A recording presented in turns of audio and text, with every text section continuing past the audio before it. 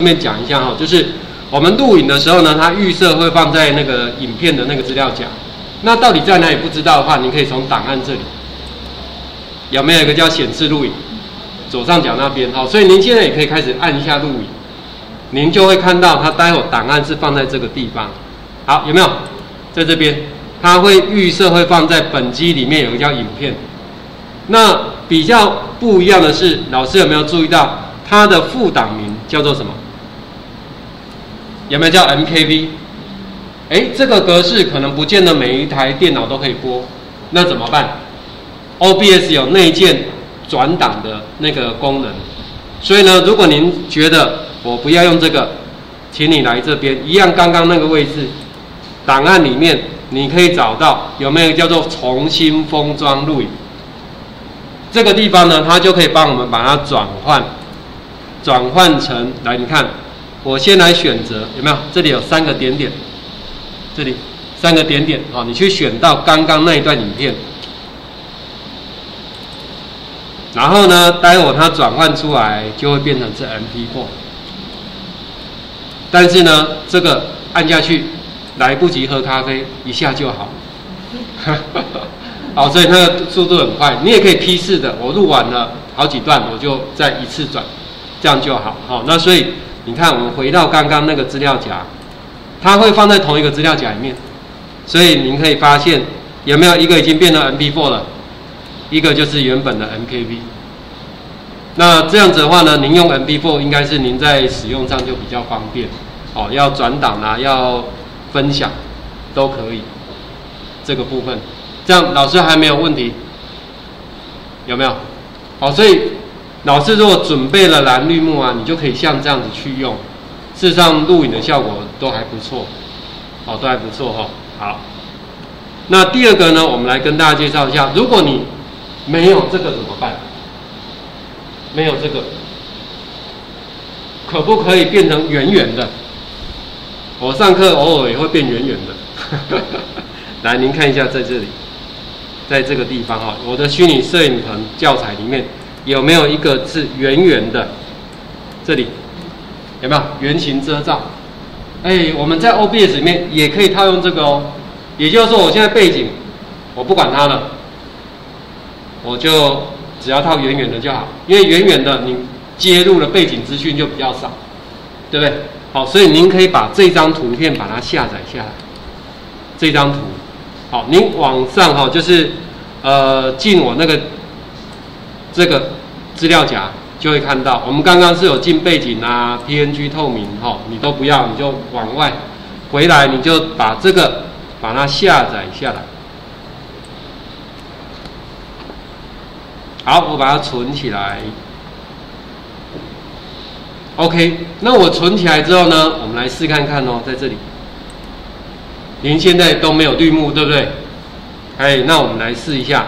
我针对我的这个视讯截取，好，我也不要做裁切的，我都把它还原，好，你把它拉回来，好，这个是我原本的原始画面。那我现在呢，我就要针对它，一样是用滤镜，一样是用滤镜，所以我找到这个位置，来，你的视讯装置，点一下滤镜，好，现在我暂时把刚刚的色度键我把它关掉。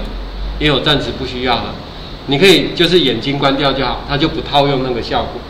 好，那一样我来加号哦，来这边做加号。加号这一次由上面算下来第四个，一、二、三、四，哎，拍谁？最近它多了一个，要变第五个，有没有？上面算下来第五个，刚刚是下面算上去第四个哈，我们就是要影像遮罩。所以你按一下这个，好，一样。他说给他一个名称，你按确定。那我现在呢，就来告诉他，我现在这里类型我要转换一下，因为我那一张是有去背的，好，那一张是有去背的，所以请他帮我用阿尔法遮罩，但是后面是阿尔法通道，这个，好，这个，你要选这个。好，那选好的，你就可以去按浏览，去找到刚刚你所下载的那一张图片。好，你看我刚下载的是在这边，我在这里，刚刚下载的在这里，圆形遮罩，好过头了，在这里，所以这一张不用丢进来哦，我是用这样去选的，有没有圆圆的？有没有这样遮住了？如果你这里没有选，你用它的预设值，有没有完全不见了？哎，因为我这张图片其实已经有去背了，所以你就直接用它圆圆的。那这样子您可以看到在这里有没有就圆圆的？这样子也 OK。好，所以你没有去背没有关系，也可以像这样子去使用。那我就来这里按下关闭。这样就有咯，是？老师就可以自己调整位置大小，因为远远的我们接入的资讯比较少，就变成以看到里面的就是圆圈里面的东西为主，但是不会说就是场景那么快就被辨识出来，这在哪里拍的？好，所以这个效果其实也是可以的，这样 OK 吗？好，那当然形状老师也可以自己改了，你要变爱心啊什么的都可以。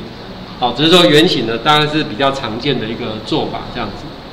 哎，好，所以经过这样子两轮，就是不管老师你是要用蓝绿幕去背，还是用这个遮罩，其实效果都算是 OK 的。那如果好的，老师你就可以像我刚刚一样，先测试一下有没有，先开始录制。好，那如果好的，你就按停止，哎，这样就好了。好，这样就把你一段就录起来了。不过，我们顺便提一下，OBS 它本身目前是没有提供剪接的功能，所以你还是必须要搭配其他的软体去做剪接这样子。对对对，这一块是它目前比较没有提供这样的工具这样。好。